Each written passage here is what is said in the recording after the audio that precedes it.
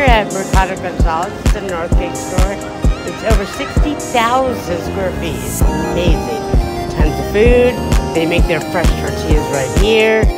I love this place. The birria taco with cheese is amazing. Tacos are great. Check out all this great food. If you haven't been here yet, it's a must visit, 100%. They have really good looking produce. All the beers that you can think of drinking, all right here in the store. You gotta check out the cheeses. They have so many different types of cheeses here. Everything is fresh, everything is great, as well as they have the best carnitas. Check it out. Oh my god, looks great, right? Yeah. Dave and I are coming back and buying like a pound of that.